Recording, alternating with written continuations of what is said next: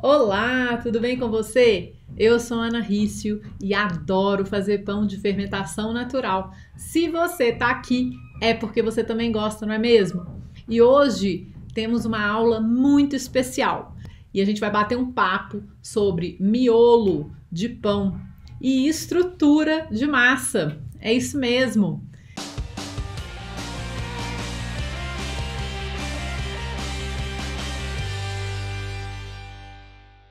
Então a gente vai falar algumas coisas importantes a respeito do miolo, do desenvolvimento de estrutura da massa, tá? A estrutura tem muito a ver com o miolo, tá? Não existe só uma causa para o miolo aberto. São vários fatores que afetam o miolo do pão. O que, que acontece, gente? Hoje em dia, né, muita gente está sempre focada. Ai, o miolo, o miolo tem que ser a coisa mais bonita. Se meu miolo não for cheio de alvéolos, eu não vou ser um bom padeiro. Será que é verdade? Será que você não vai ser um bom padeiro se o seu miolo não for cheio de alvéolos? Né? É importante a gente considerar isso. O miolo é uma das características do pão, mas ele não deve ser o único objetivo perseguido quando a gente faz pão, né? Quando a gente faz pão, é um aprendizado geral, é um aprendizado muito importante, tanto de uma nova habilidade, que é a panificação, quanto sobre a gente mesmo né? Quando a gente começa a estudar, quando a gente começa a aprender a fazer pão, sério, não é tipo, ah, vou pegar uma receitinha ali e fazer. Porque se você tá me acompanhando aqui, você já sabe que receita não faz pão, né?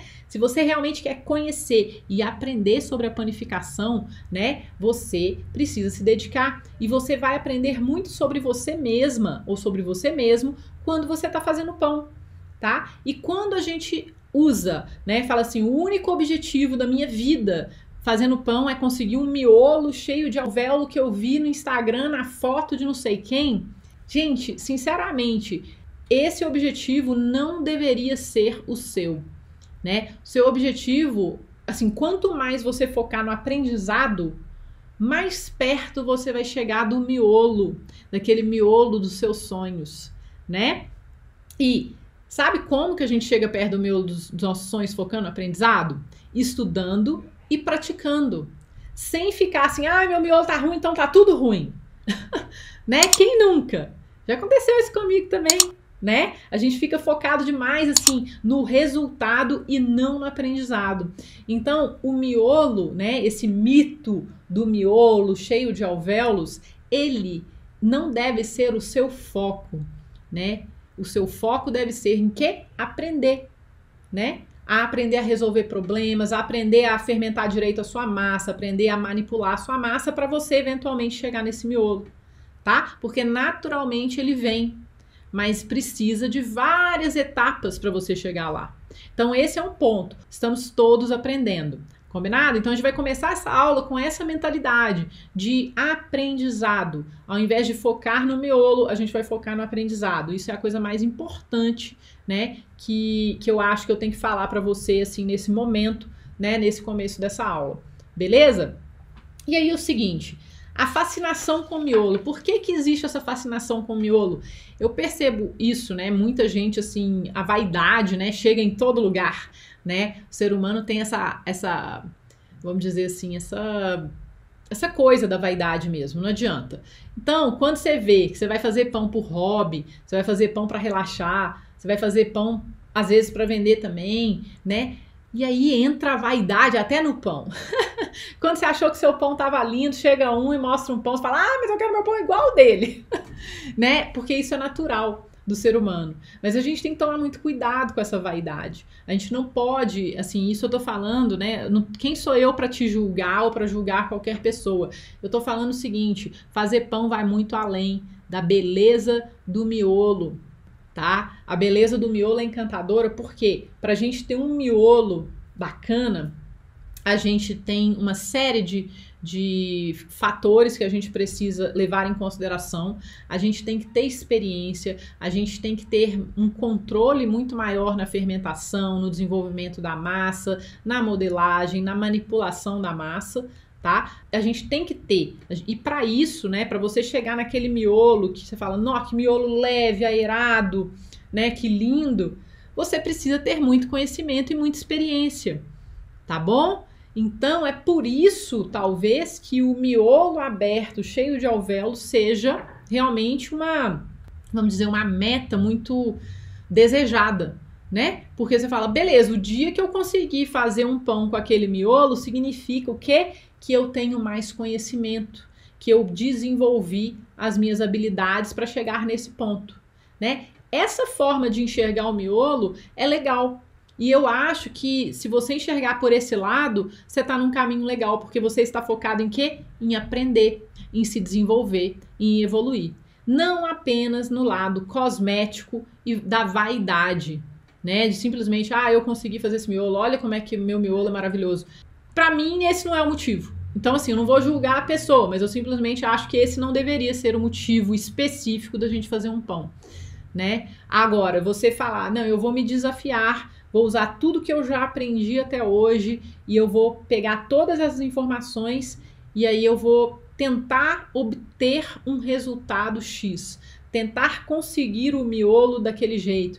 Aí você está trabalhando em cima assim de um desafio sobre o seu aprendizado.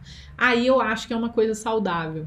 Tá entendendo a diferença, né? Miolo por vaidade versus miolo por conhecimento, tá? Então, pensa um pouquinho o porquê, né? Por que, que você quer esse miolo, né? Outra coisa que eu gosto de pensar também, né? Além do miolo, tive algumas perguntas que foram bem interessantes, né? Uma pessoa perguntou é, o miolo aberto e cheio de alvéolos indica realmente um melhor pão, né? Indica melhor qualidade, né? Aí é o seguinte, na minha experiência, são experiências diferentes. Quando você come um pão que tem um miolo mais fechado, mais macio, né? Ou quando você come um pão que é mais crocante, que tem um miolo mais aberto, com textura diferente, são experiências diferentes que você vai ter, né? São pães diferentes com sabores e texturas diferentes. Então você vai fazer o quê? Não, não tem um melhor e um pior. Qual você prefere? Qual você gosta mais? Né? Então, assim, eu, de jeito nenhum, eu nunca vou desmerecer um pão que tem um miolo mais fechado e mais macio. Por quê? Porque se o pão tiver gostoso, se eu tiver feliz com o pão, né? Se o pão for do jeito que eu queria que ele fosse, tá ótimo, né? Mesmo ele não tendo aquele miolo cheio de alvéolos. Tem gente que nem gosta do miolo cheio de alvéolos. Tá? Por quê? Porque o povo fala: "Ah, não consigo, eu coloco, eu coloco manteiga no pão, a manteiga cai" né? Mas é claro, tem uma forma diferente de você comer o, o pão com miolo cheio de alvéolos também, né? Você não vai preparar, né, um, um pão do, cheio de alvéolo do mesmo jeito que você prepara um pão que tem um miolo mais fechadinho, mais macio. Então pensa nisso também. Pão cheio de alvéolo não é que ele vai ter mais qualidade ou menos qualidade, ele vai ter características diferentes. Ele vai ter sabor até diferente, textura diferente também e objetivos diferentes, tá bom? Então, esse é um ponto importante, tá? Não é porque o seu pão não tem um tanto de alvéolos que ele não vai ser um bom pão. Primeira coisa que a gente tem que buscar na hora que a gente faz pão é fazer um pão gostoso que a gente consiga comer. A gente também, o que eu falo que é muito legal, quando a gente entende o processo de fazer o pão, né? Quando você entende o processo, quando aquilo faz sentido e começa a se tornar gostoso, agradável para você, isso é a sua maior vitória porque você está tendo prazer com o que você está fazendo. Agora, se você já está fazendo pães lindos e deliciosos, e só porque você ainda não teve aquele alvéolo que um dia você ainda vai ter, e você está sofrendo por causa disso, por antecipação, eu acho que você tem que rever os seus conceitos e os seus desejos. E ser um pouco menos duro com você mesmo. Eu estou falando isso porque eu já passei por isso né, na minha, na minha jornada, né, de aprender a fazer pão e tudo mais, claro que eu já passei por isso. Eu tive uma época que eu falava, ah, tá horrível, tá horrível. Não tava, tava uma delícia, tava lindo. Mas o pão não tava com o alvéolo que eu queria que ele tivesse, sabe? E hoje eu penso, gente, isso é tão pequeno em comparação a todo o aprendizado e a tudo que eu posso compartilhar quando eu estou fazendo pão. E a tudo que eu posso é, é, vivenciar fazendo pão tá? Então, beleza. O que que acontece, né? Pra gente conseguir, eu vou até, deixa eu ver se eu, se eu ah, tem a questão da água, né? Mas muitas pessoas, né, acham que tacando água no, no, no pão a gente vai ter mais alvéolo, naturalmente, né? Vou pôr um monte de água nessa massa porque me falaram que a massa super hidratada vai me dar um monte de alvéolos. Não necessariamente. Se você não estiver usando a farinha adequada, se você não manipular a massa adequadamente, se você não fizer a fermentação adequada dessa massa, não é porque você está usando muita água que você vai ter um miolo muito aberto, tá? Na minha experiência, eu prefiro treinar com farinhas mais fracas, com menos água e trabalhar a minha fermentação e a manipulação adequada da massa e o desenvolvimento adequado da estrutura de glúten da massa, considerando né, o tipo de farinha e a quantidade de água que eu coloco. Eu prefiro fazer isso do que tacar água numa farinha só para tentar ter mais alvéolos, tá? A fermentação é chave para ter alvéolos, a manipulação também é chave para ter alvéolos. A hidratação adequada da farinha, chave para ter alvéolos. A temperatura de fermentação, ou seja, a fermentação, porque tudo afeta a fermentação, né? tudo isso vai afetar né, o, o miolo do seu pão, temperatura do forno. Então não é só água. É importante falar isso porque se ah, então beleza, eu faço um pão com 70% de hidratação. Se eu fizer um pão com 80%, eu vou ter alvéolo, então eu vou botar 80% de água nessa farinha. E aí as pessoas vão e fazem aquele tijolão de escovador, né? Ah, não é para mim, não sei, desiste. Será? Não precisa, né? Então, assim, muito antes de você, por isso que eu falo, não foca nesse objetivo, foca no aprendizado. Entenda o que, que acontece quando você mistura farinha e água. Entenda o que, que acontece quando você coloca um fermento que está que tá forte, que está bombadão na sua massa e permite a sua massa fermentar o tempo adequado. Né? Procure entender o método que você está usando para ver se ele é um bom método, se ele é um método que te dá bons resultados. Experimenta o seu pão, experimenta o sabor dele, a textura, observa a casca, observa o miolo, testa uma coisa diferente de cada vez nesse pão. Né? Cada vez que você for fazer a mesma receita, você testa uma coisinha diferente para ver se melhora ou piora. Isso vai te ajudar a melhorar a qualidade do seu pão. E se o seu pão for para ter alvéolos, né, ele vai ter na hora que você acertar várias arestas tá bom? Porque o alvéolo não depende de uma coisa só, ele não depende só da água. Ele também não depende só da farinha. Esse é um grande erro também. A melhor farinha não vai te garantir alvéolos. A melhor farinha não vai garantir um bom pão. O que vai garantir um bom pão é método, conhecimento e mão na massa, com presença e com consciência, né, do que você está fazendo. Então, assim, e sem pressa, né? Eu falo com as pessoas, é sem pressa e sem pausa. Porque se você falar, ah, beleza, eu não tenho pressa, mas se você não praticar, você não vai evoluir, né? Então é uma mistura. Você estuda e pratica, estuda e pratica, né? E aí você vai evoluindo, vai melhorando, certo? Vamos falar aqui. Por que, que a farinha mais forte pode trazer um miolo mais aberto? né? Aí eu vou falar de uma característica técnica, né? A farinha mais forte é a farinha que, te, que tem mais proteínas formadoras de glúten. E quando ela é uma farinha que tem essas proteínas equilibradas em termos de extensibilidade e elasticidade, ela é uma farinha que, que em termos de equipamento para fazer pão, ela tem o potencial de te dar um miolo mais aberto, desde que você hidrate-a adequadamente, fermente-a adequadamente.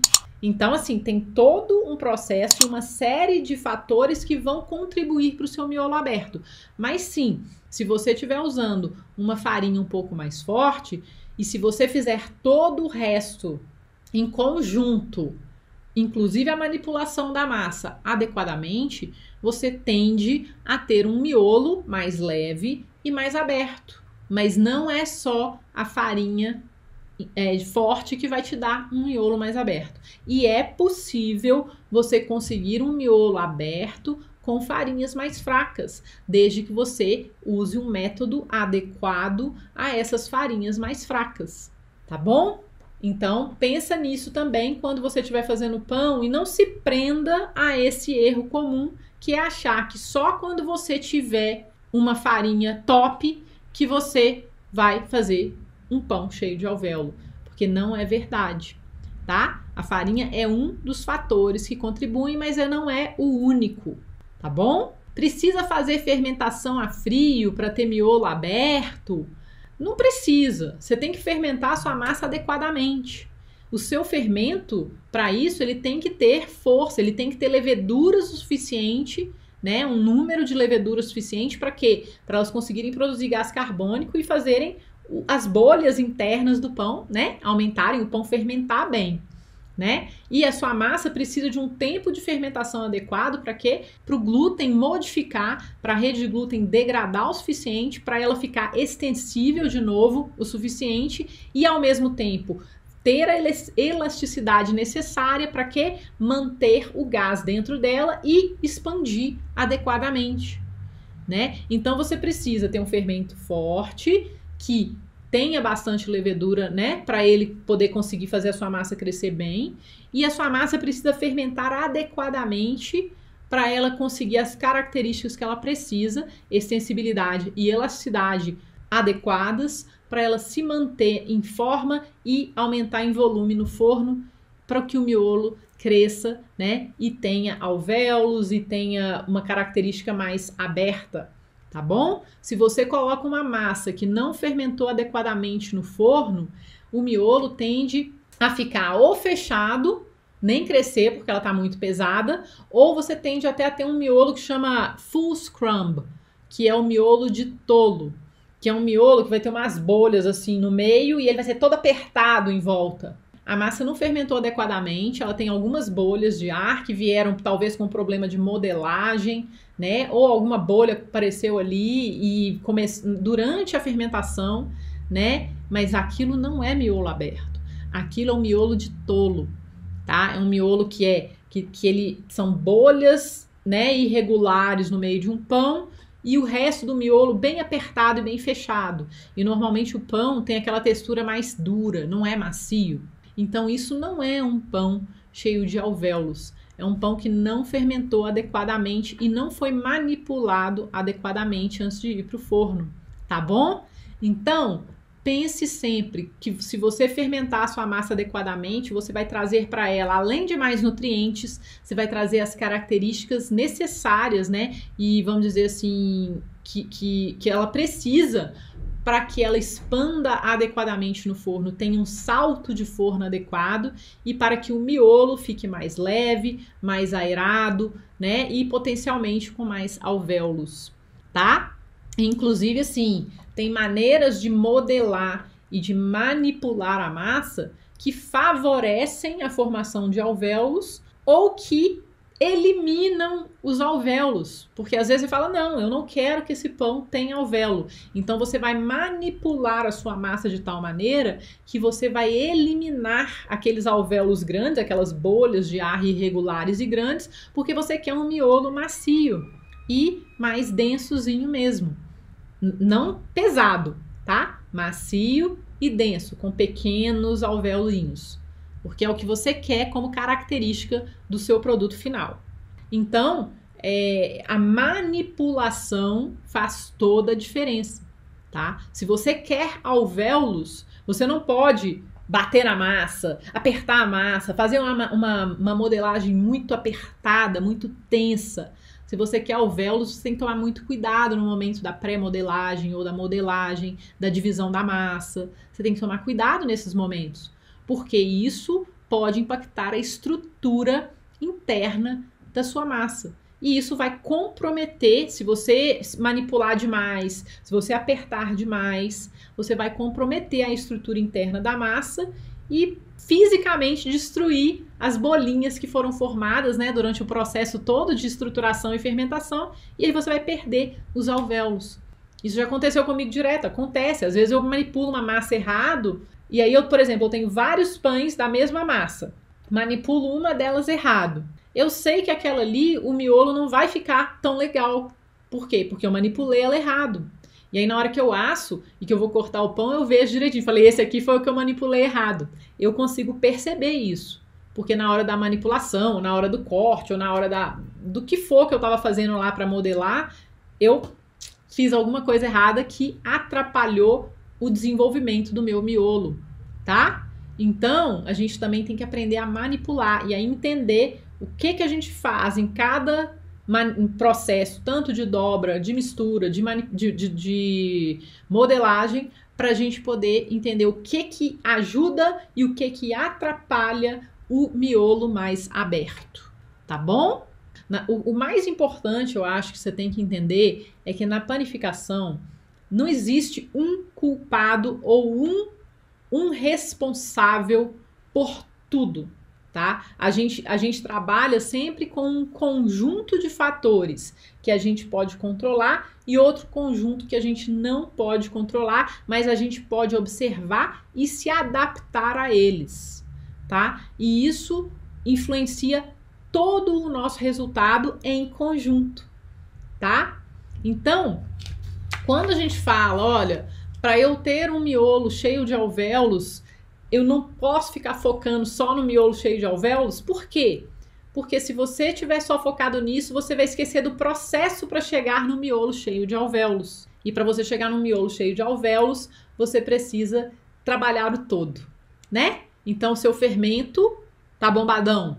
Você ter um bom método, você ter uma receita que é uma receita de confiança, que vai te ajudar também, porque a receita é um dos fatores que afetam o seu resultado.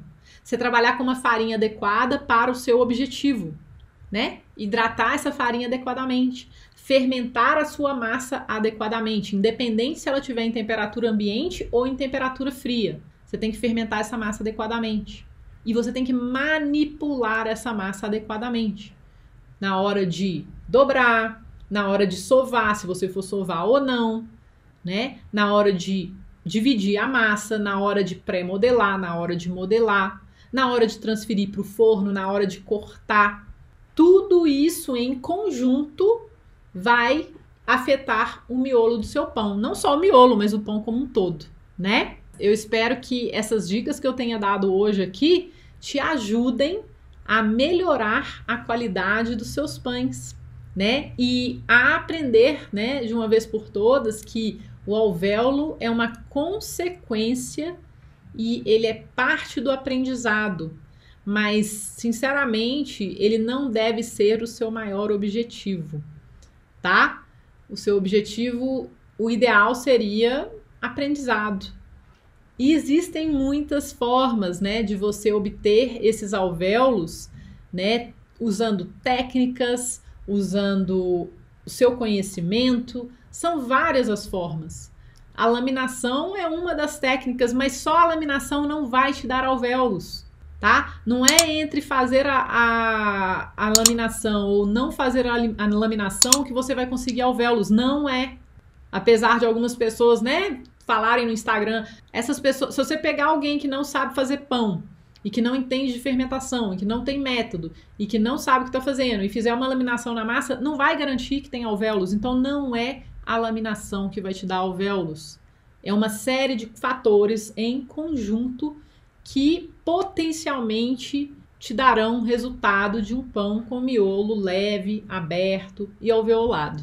Mas o mais importante é você estudar, praticar, repetir e amar o que você está fazendo. Porque quando a gente faz as coisas com amor, o resultado vem. E é por isso que eu falo que o amor assa, e fazer pão é massa. E fazer pão deve ser um processo massa, deve ser divertido, deve ser leve, tá? Deve ser cheio de aprendizado e descobertas. Tá bom, pessoal? Muito obrigada pela presença de todos vocês. Muito obrigada pelo carinho.